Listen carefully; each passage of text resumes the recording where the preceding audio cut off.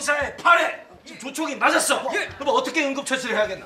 이럴 때는 지, 지, 지혈을 해야 됩니다. 음, 너무 긴장했구나. 다시 해. 자, 시끄러. 아이고, 참. 어.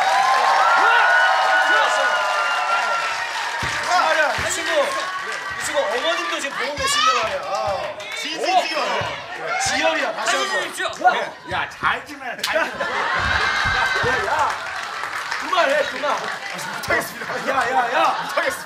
너 오래 쉬었잖아. 아, 그래요. 개콘 오래 쉬었잖아. 열심히 해야지. 열심히 하겠습니다. 개콘 따라 잡아야지 열심히 해서. 알겠습니다. 자, 이 병사의 이 팔에 조청이 맞았어. 어떻게 응급처치를 할 건가? 이럴 때는 지혈을 해야 합니다. 그렇지. 어, 이 심장과 가까운 이 팔을 그렇지. 이렇게 딱 묶어서, 묶어서. 지혈해야 됩니다. 좋았어. 제대로, 제대로, 제대로. 제대로 병자. 어, 좋아, 좋아, 좋아. 어. 자, 다음 두 번째. 아, 이번에는 이 발 쪽에 어, 총을 맞았다. 어떻게 해야 되나? 이때는 역시 지혈을 해야 됩니다. 그렇지. 심장과 가까운 다리 위쪽에. 다리 이렇게 위쪽에? 묶어서, 묶어서. 지혈을 해주면 되겠습니다. 그렇지. 아.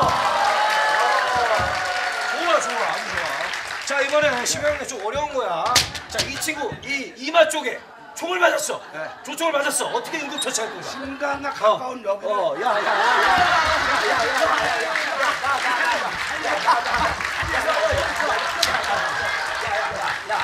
뭐 하는 거야? 얘 먼저 죽겠네 지금. 심장 여기 있지? 머리 맞았지? 여기를 어. 돌려서 야, 야, 야, 야, 야, 야, 야, 나, 나, 나, 나, 나, 나, 나, 나. 못하겠습니다.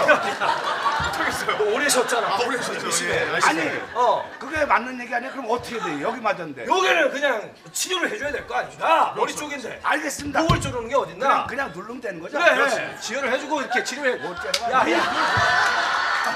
제발. 어, 여기 어디야? 어, 야, 야, 야, 야, 야. 어디냐, 여기가?